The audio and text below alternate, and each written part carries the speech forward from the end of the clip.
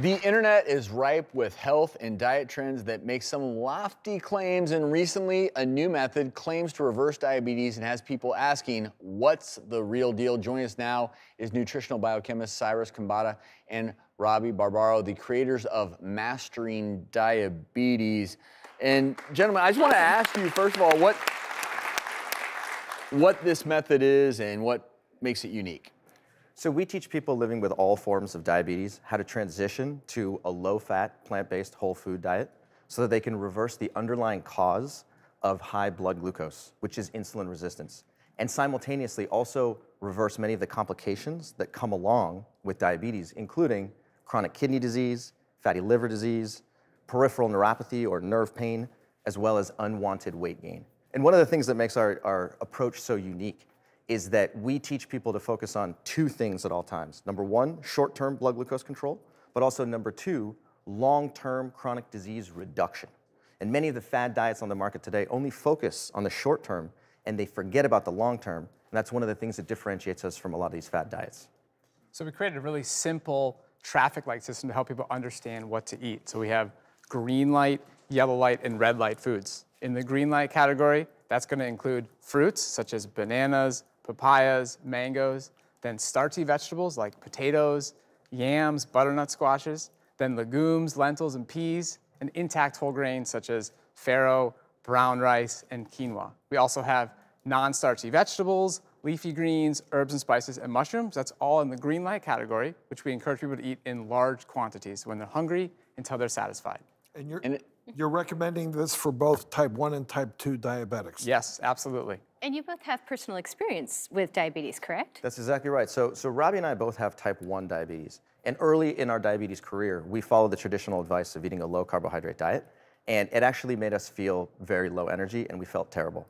So independent of each other, we both transitioned to a low-fat, plant-based whole food diet and noticed very quickly that we had way more energy, that our glucose was more controllable, and that we were able to consume more carbohydrate energy in one day than your average person with diabetes is able to consume in an entire week using very small amounts of insulin, having excellent blood glucose control, and an A1C value, which is considered non-diabetic.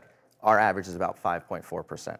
Is there science behind this studies that would support uh, this regimen protocol? Absolutely. There's actually almost 100 years worth of evidence-based research that has been sort of buried over the course of time that clearly documents not only what Robby and I had personally experienced, but also why a whole food plant-based diet is a tremendous solution for people living with prediabetes as well as type 2 diabetes. Now, I, do, I want to bring into the conversation really quickly endocrinologist Dr. Joseph Pinzone and raise where I think a lot of the controversy is, which is, you know, you mentioned insulin resistance, and obviously there's a big difference between type 1 and type 2 diabetes. A type 1 diabetic who may not be making insulin versus a type 2 diabetic who makes insulin, but your body is resistant to it.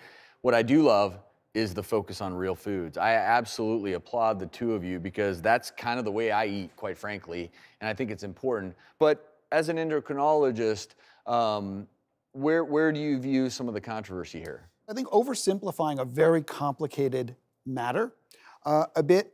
And uh, also, if you look on the American Diabetes Association website, I think they appropriately say there's no one diabetes diet. There's no magic diabetes diet.